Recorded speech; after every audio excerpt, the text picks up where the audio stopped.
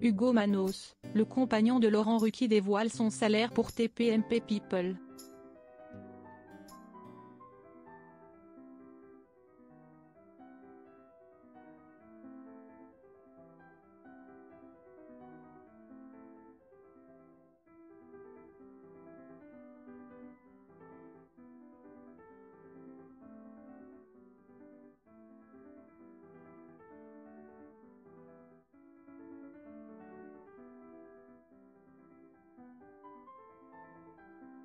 Le 10 janvier dernier qu'il remettait l'émission.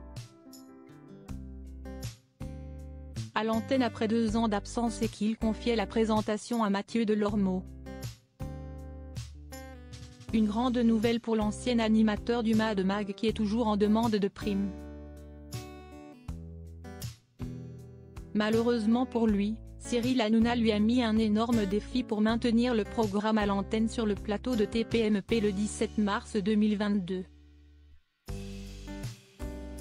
Déjà, sachez que le vendredi je serai là. Ensuite pour TPMP People, j'aimerais qu'on se pose deux petites secondes pour parler de cette émission. Je suis en train de discuter avec la chaîne sur une reconduction de l'émission. Samedi, vous avez un nouveau rendez-vous.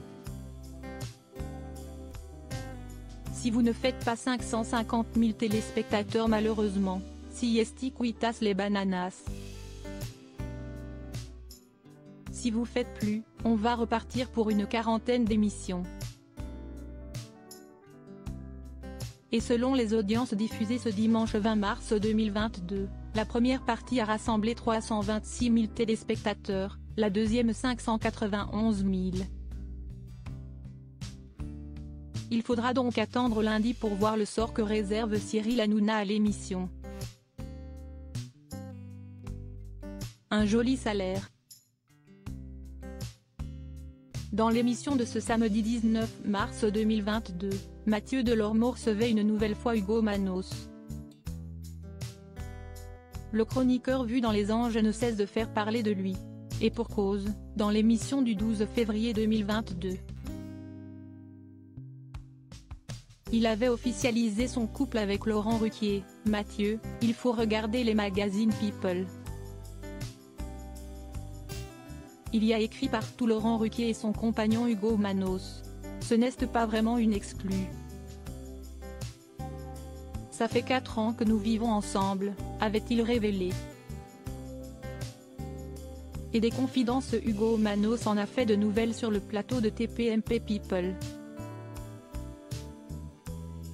Alors qu'Amandine Pellissard, de famille nombreuse, la vie en XXL était invitée, de nombreux chroniqueurs lui ont demandé son salaire. Et pour éviter la question, elle l'a posé à son tour à Hugo Manos, « Et toi, tu gagnes combien ici ?» Ce à quoi il a répondu sans langue de bois, « Ici? Je gagne environ 1400 euros par mois. » Malheureusement pour lui, elle n'a finalement pas souhaité répondre, « Je ne le dirai pas. Question suivante.